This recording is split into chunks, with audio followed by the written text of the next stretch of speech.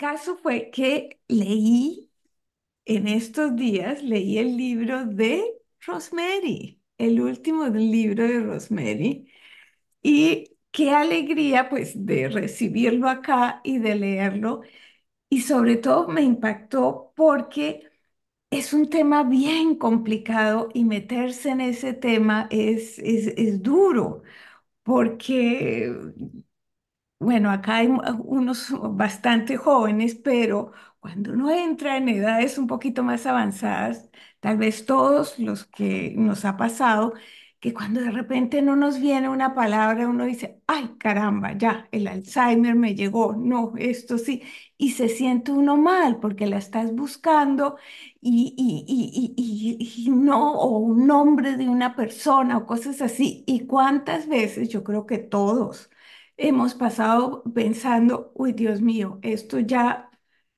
se dañó el asunto, mi cabeza ya no funciona y nos da miedo.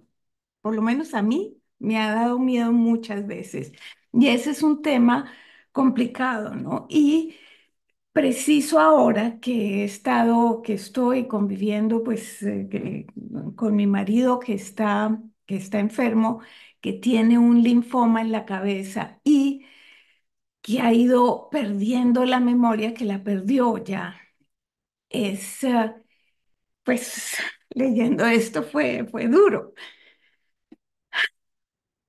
porque pues todos los que acompañamos a personas que están con enfermedades complicadas, es muy duro, es muy duro para ellos, pero es muy duro para los que están alrededor. Y eso lo transmite Rosemary en, en su libro el, el- el afán del esposo, del hijo, de, de- de ayudar a la mamá, de, a la esposa, de, de darle un, un background como ella por inteligente, y eso lo vi, lo he visto también, en, lo vi en la- al principio con mi marido que usan artimañas para no mostrar todo lo que está pasando, porque se dan cuenta que van perdiendo facultades y encuentran cómo hacerlo.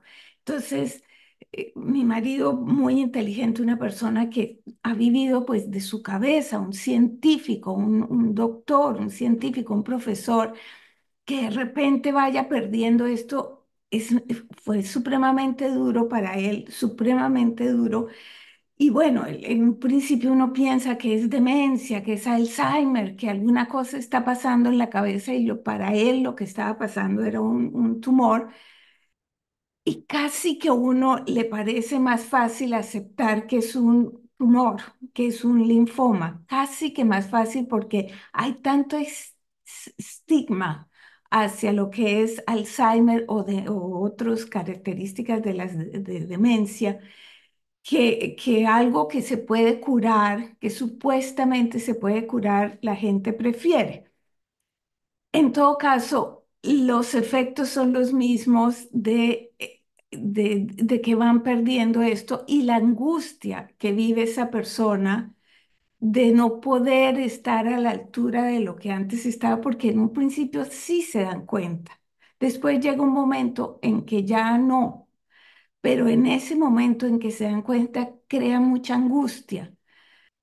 Y bueno, es, eh, ahí lo describe y va poniendo todos los adelantos que van pasando, los, los deseos de la gente que está alrededor y de la persona, pero yo pienso más que todo los del alrededor, que quieren que, ay, qué tal droga, qué tal cosa, quieren hacer todo lo imaginable para poder ayudar a esa persona.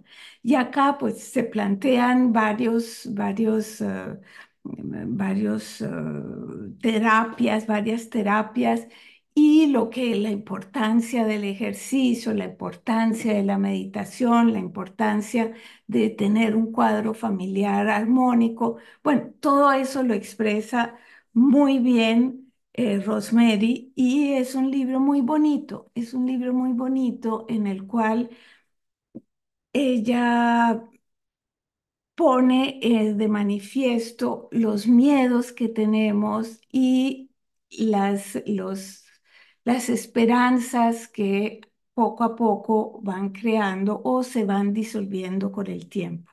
En todo caso, en el umbral del olvido es realmente algo que, que no solo los, las personas un poquito mayorcitas, sino los jóvenes, es también que lo lean porque está ahí, es algo, yo no sé, tal vez ahora vivimos más tiempo, entonces conocemos más gente que está teniendo estos problemas, que antes tal vez nuestros abuelos se morían más temprano, entonces no teníamos que confrontarnos con este estilo de enfermedades. En todo caso, el libro nos hace reflexionar, nos da esperanza, nos da visiones de, de lo que puede venir y esperemos que haya curas próximamente.